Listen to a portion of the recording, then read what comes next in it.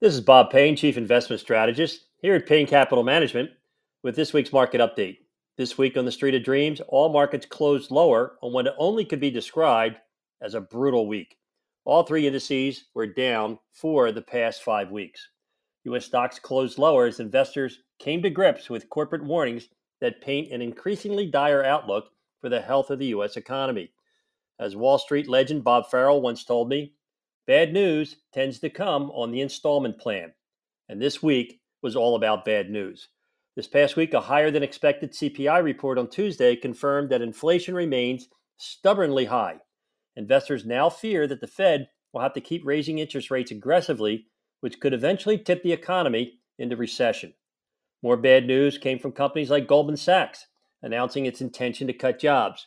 Federal Express decided to tell investors, a week early, mind you, that its earnings were terrible and that it's closing offices to offset declining demand. And General Electric said supply chain problems were weighing on their profits. So, does bad news actually come on the installment plan? Well, truth be told, we literally have millions of pieces of news, both good and bad, daily. When the market goes down, the talking heads reach into that pile that justifies the negative. And when the market goes up, it simply takes from the pile that justifies the positive. As I always say, it's the market that makes the news, not the other way around.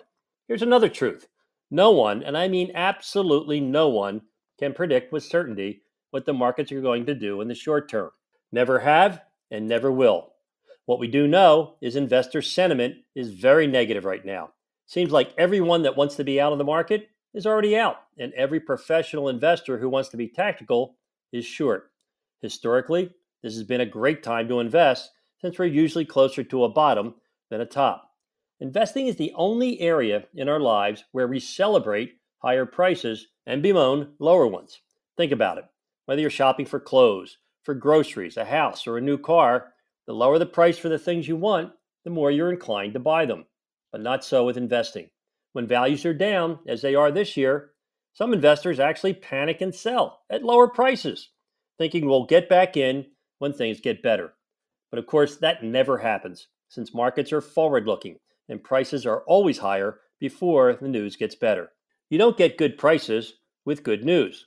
We should treat lower prices on our investments like everything else.